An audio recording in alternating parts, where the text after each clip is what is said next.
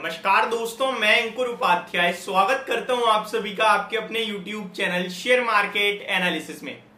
यहाँ पे आप सभी के साथ बात करूँगा वेदांता के स्टॉक को लेकर। देखिए, कल जब वेदांता टूट रहा था और परसों नंबर आए थे तो कल टूटने पे बहुत सारे लोगों ने कमेंट कर दिया।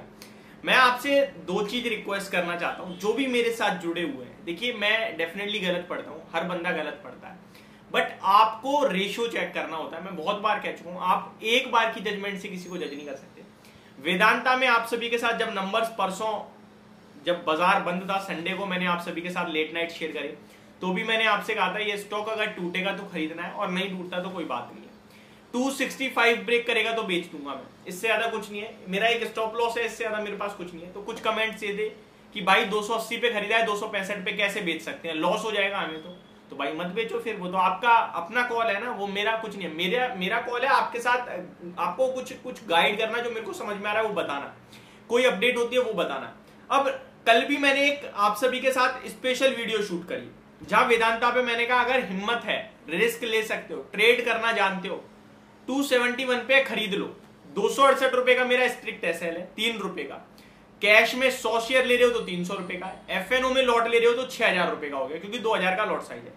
मेरा टारगेट दस पॉइंट का बन सकता है, इक्यासी, दो सौ इक्यासी का, यानी बीस हज़ार रुपए तक का टारगेट आ सकता है एफएनओ में, कैश में हज़ार का। वन इस टू थ्री का रेशियो आ रहा है ऑलमोस्ट ऑलमोस्ट अब आप पे डिपेंड करता है, आप ले सकते हो, नहीं ले सकते। खराब माहौल में जब सब कह रहे हैं डेट बढ़ रहा है कंपनी का नंबर खराब आ रहे हैं स्टॉक टूटा पड़ा है, बाज़ार का हाल खराब था मेटल इंडेक्स नीचे था, तब आपके साथ ये व्यू शेयर करा था ओपन मार्केट में किया था।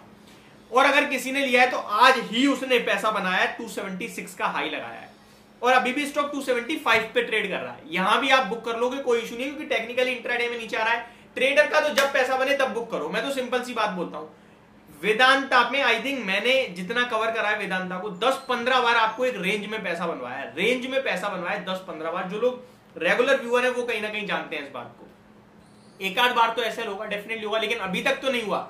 जब होगा तब की तब देखी जाएगी, जब तक नहीं हो रहा तब तक तो कमा लू अब यहाँ पे क्या करें, क्या ना करें? कल रात में मैंने साढ़े नौ बजे आप सभी के साथ वेदांता पे वीडियो शूट करी, जहाँ मैंने कहा कि सीएफओ का बड़ा बयान आया है, कल ये तीन चार रुपए ऊपर खुलेगा शेयर आप लोग मेरी कल रात वाली वीडियो जाके देखो, एक दिन में दो वीडियो बनाएँगे वेदांता पे। कल ओपन मार्केट में जहाँ आपको इंट्रा कॉल दी, कि कॉन्ट्रा कॉल जहाँ मैंने बोला, भैया, ले सकते हो तो ले लो, नहीं ले सकते दो सौ पैंसठ रुपए का एसएल रखना। और कल रात में आपसे बोला तीन चार रुपए ऊपर खुलेगा, क्योंकि जिस वजह से कल शेयर टूटा है, वो वजह ही हटा दी। सीएफओ की तरफ़ से कल क्लियर कट कमेंट्री आई है, जहाँ पे उन्होंने कहा है कि वेदांता को डेट से कोई टेंशन नहीं है, कोई डर नहीं है। वेदांता कंफर्टेबल पोजीशन में है कि उसकी जो भी डेट मेच्योरिटीज है यूएस की, वो हर एक मेच्योरिटी पे पैसा दे देगा। और वेदांता शुरू से ऐसे ही वेदांता में अगर आप नया निवेश कर रहे हो तो बात अलग है, लेकिन अगर आप पहले से निवेशक हो या पहले से बाज़ार में तो आपको पता होगा वेदांता करता ही ऐसे है। अपनी इक्विटी गिरवी रख दी प्लेज कर दी। अब जो नए लोग हैं, वो तो कहेंगे यार इक्विटी प्लेज है, ये तो बेकार शेयर हो गया। अरे वो बंदा काम ही ऐसे करता है, उसका काम करने का तरीका ही है। देखिए अलग अलग तरीके होते हैं लोगों के काम करने में। कोई एफएनओ में ही काम करता है, कोई ऑप्शंस में काम कर रहा है, कोई इंट्राडे काम कर रहा है, कोई फ्यूचर्स में काम कर रहा है तो कोई कैश में काम कर रहा है। अब कैश में भी कोई वॉलेटाइल शेयर्स में काम करता है, कोई डिविडेंड में करता है, कोई ग्रोथ स्टॉक में करता है तो कोई ऐसा बिल्कुल जो हिलता ही नहीं है, जिसमें रिस्क ही नहीं है, बिल्कुल उसमें काम कर रहा है। सबका अपना अपना तरीका है ना काम करने का। तो वेदांता का भी काम करने का तरीका यही है कि वो कभी इक्विटी गिरवी रख दिया, पैसा आ गया, उससे काम कर रहा है। डेट रखता ही रखता है अपने पास, उसको पे करता रहता है, करता रहता है। हिंदुस्तान जिंक, उसकी सब्सिडरी है, वहाँ से अच्छा खासा डिविडेंड कंटिन्यू आता रहता है। तो ये सारी चीज़ें आपको एज अ इन्वेस्टर समझानी होंगी, खुद को ट्रेडर मत समझाओ ट्रेडर तो लेवल देखो बस। एज अ इन्वेस्टर समझानी होंगी आपको कि हर एक खबर से डर के बेचना, खरीदना नहीं होगा, पैसा नहीं बनेगा। कल टीवीएस के नंबर अच्छे आए। स्टॉक टूट गया। तो खबरों में काम करोगे, पैसा एक आध बार बनेगा, दो चार बार जाएगा। तो यहाँ सिंपल सा व्यू ये है कि अभी भी वही है कि ट्रेडर निकल जाओ। अब पता है क्या होगा? इनकेस अब ये स्टॉक टूट जाए तो कल वाले लोग कमेंट करेंगे कि भाई आपकी वजह से वेदांता ले लिया, गिर गया, हम तो बेच ही नहीं पाए।